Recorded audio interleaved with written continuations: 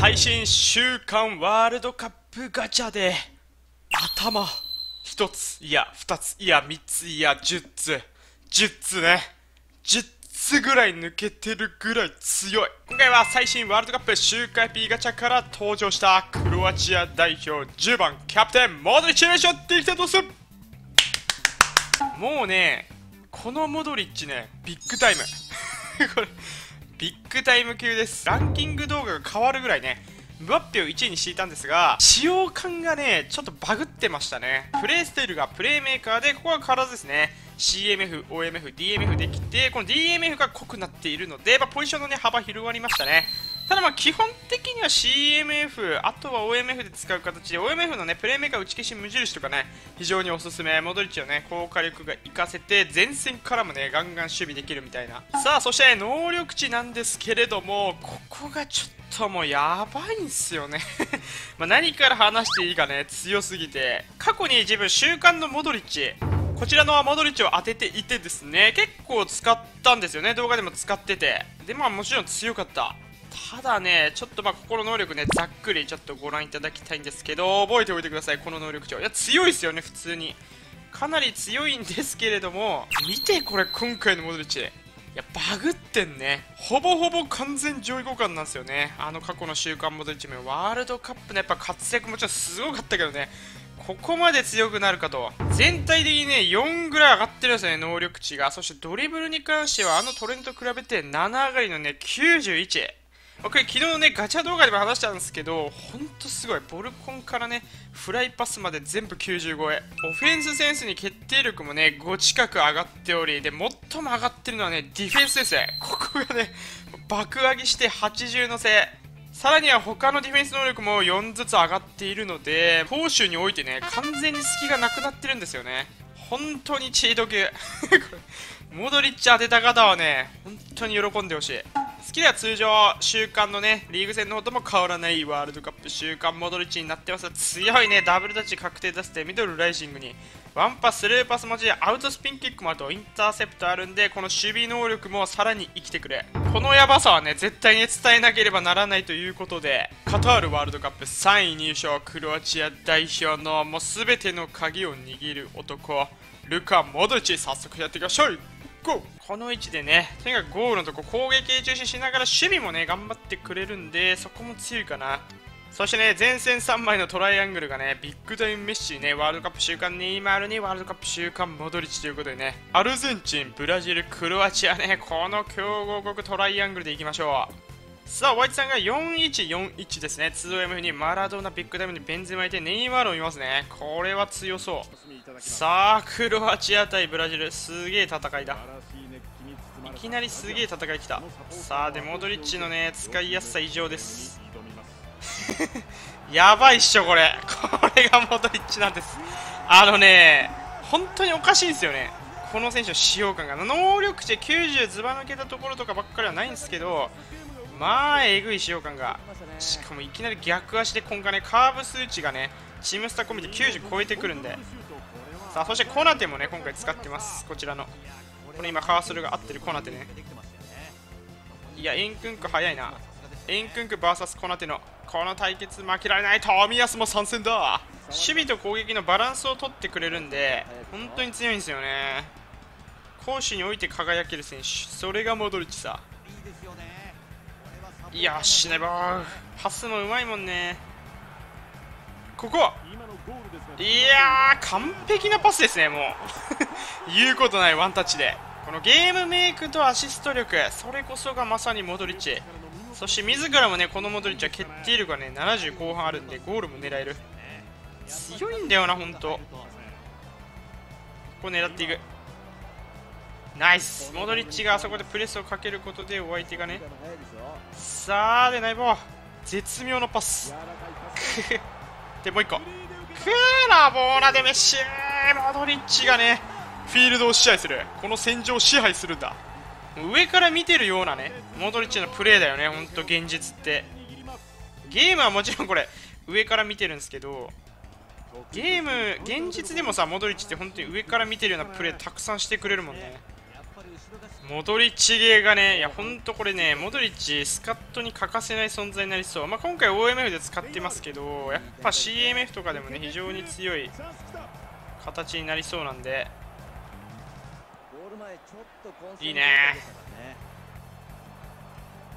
さあ、これ、ファビーニョを背負いながら、ここ、モドリッチがヒールからもう一回受けて、オッケーシュート惜しいね、今 すごい。トライアングルがえげつないことになってる。ブラジル、アルゼンチン、クロアチアの。ということで終わりパターンかな。本当に現実のモドリッチに近づいた感じがするね、このモドリッチは。どんどんルカ・モドリッチのヤバさを見せてほしいですね。キャプテン、クロアチアでね、全てをもう運命をね、握る男だからね。アルゼンチン対クロアチア来ました。いや、これも、これ準決勝のカードだよね。いやー、ここを狙ってる男がいるんですよね。モドリッチが今囲い込みに行ってましたね。さあで1回自分たちの時間にしたいが上がってきてくれた。さあでモドリッチ使って何でもできる。ここモドリッチには見える。モドリッチにはその角度が見えるんだ。うわーアウトスピン打てないか。はい、ディディフェンスもできる。はい。うわモドリッチいく。今のっち何？サッカー漫画でね頭でトラップしましたね。ガビもいいねさあモドリッチが取ってあー最高!うわおダブルタッチからの神ライジング!これがねミドルシュート決定力もね上がったモドリッチ。いやだから得点も決めれるっていうね。そこがやばいっすよね結構。コナテもいいねコナテも。いやパスかな。オッケーモドリッチ拾っていくさあで運んでいこう。ここがねやっぱモドリッチって運ぶプレーとかもめっちゃうまいもんね。いやもう剥がしまくり。素晴らしすぎもう最高。ルカ・モドリッチえぐい。パスドリブル全部使用感最高クラス。なんかさゲームのモドリッチもねもちろん強かったんだけどこれまでのね。ただやっぱり今までよりもさらに強くなった感じがするね。本当現実に近づいたって感じようやく。いやコナテ素晴らしいね。で戻しの出だしが早い。さあここで取って。そう。すげえ。いやもうドリブルの運びも強いしな。いいね。37歳でリアルでスタメン張ってるっていうのがやばいよね。クーレボワンタッチがめっちゃ気持ちいい。よいしょアウトスピン。モドリッチの大好きだね。あのアウトサイドね。きた。モドリッチの大好きなアウトスピン。これよね。このアウトサイドがモドリッチよ。モドリッチのアウトサイドって世界で一番うまいと思う。アウトサイドあんだけ使う人いないよな技ありすぎる。いやモドリッチチート。ほんとチートモドリッチになってる。いやモドリッチの守備が効いた。そしてまたも走ります。さらにパス完璧なパスメッシさあ逆サイドが空いているんでここでアウト。これ入れ。いや無理か今のボールもいいボールだな、まあ、ガビがね触ればという感じで触らなくてもね枠内に行きそうないいパスでしたね。OK ということで勝利なんですが試合終わったんだけどなんかなんか画面固まってない？ゲームメイクも全てやって3得点全部に絡む。モドリッチ最強説を唱えたいぐらいね、使用感がやっぱえげつないですね、このモドリッチ。さあ、ということでお相手さんが4213、ビッグタイムメッシ、ネイマールが両サイド。こちらはモドリッチを軸にね、得点を取っていく。めちゃくちゃユニ似てる。ちょっとねクロアチアと PSG のユニがえぐいことになってますね。さあここやっていく。コナテ VS サラ。コナテやべえなほんと。コナテも異常に使いやすいね。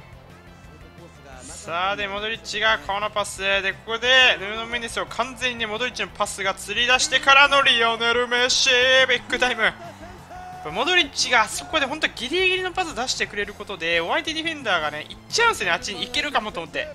そしたらね別の選手が開くというそこまで計算しているのかもしれないモドリッチは。さあネイマールああうまい。じゃあねコナテに任せましょう。コナテ VS ネイマール。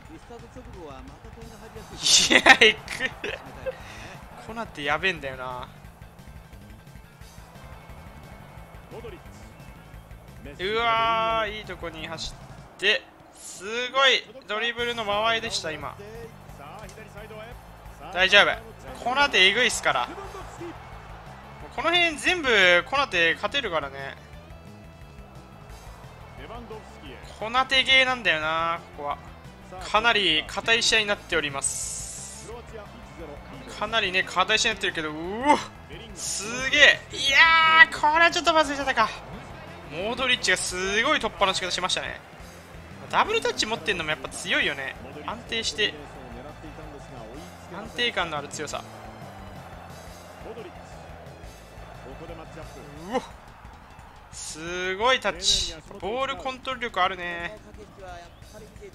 ボー。こういうとこも完璧に通せそうでしたが惜しい。ボール取られないしねそもそもあんまり。こうなって高さあネイマールのとこ守備狙っていく。サンキュー。そういいボール。ネイマールいやほーサンキュー。モドリッチからネイマールと。その前のねやっぱ守備であそこしっかりモドリッチがね取り切ったところあそこ評価したいね。そっからのアシスト。モドリッチのディフェンスいいね。ディフェンスも全部できるな本当。こ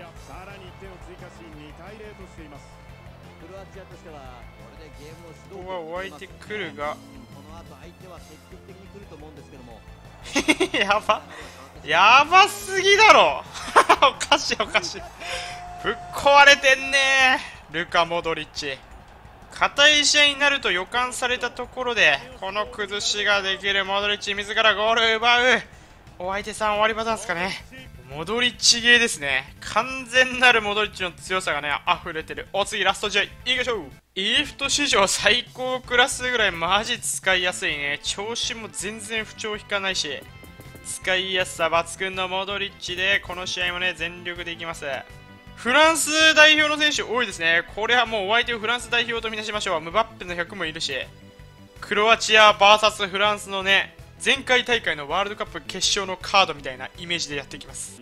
ムバッペ対モドリッチみたいなね本当にフランスとクロアチアのね対決がここで見れます。うまい。エンバペきたー。怖えムバッペ怖すぎ。ただこちらにはモドリッチがいると。さあモドリッチが運んでいく。モドリッチ運んでいく。このタイミング。メッシゴール。最高。モドリッチとメッシ。アルゼンチンとクロアチアのエースが完璧なあうんの呼吸で。その前にやっぱモドリッチのドリブルですよね。あのドリブルがやっぱできるんでこのモドリッチは。91ってやばくない？ドリブル数値。ダイディここ。うわー取らないか。モドリッチのディフェンスがいいね。ディフェンスセンスが80乗せてるんで。うまい。いやコナテなら大丈夫。コナテはえぐいっす。マジでコナテ信頼してるからね。ナイディー。素晴らしいうまパスかな？オッケーコナテ。でコナテはコナテでもうめちゃくちゃ安定があるんだよな。最後だ。守れ。コナテ。神好きワールドカップ週間の2人が輝く。これまでねモドリッチ、まあ、トレンドだったりね、通常も強かったんですけど、やっぱ現実ほどのね、モドリッチみたいなもう絶対的な安心感、信頼感があるみたいなモドリッチっていなかったんですけど、ついに出ました。もうビッグタイム級。ぜひ皆さんで、モドリッチワールドカップ週間当てた方もね、コメント欄で使用感ガンガン待ってます。こんな感じです。みたいなね、もう自分としては本当に、あのね、能力で見た時ももちろん強いと思ったんですけど、まさかね、ここまでぶっ壊れてるとは思わなかったんでね、使用感はもう本当に、ビッグタイムとかエピックとかね、その辺の使用感になってるんで、ぜひ皆さん当てて使ってみてください。おっしゃーせーの、ブ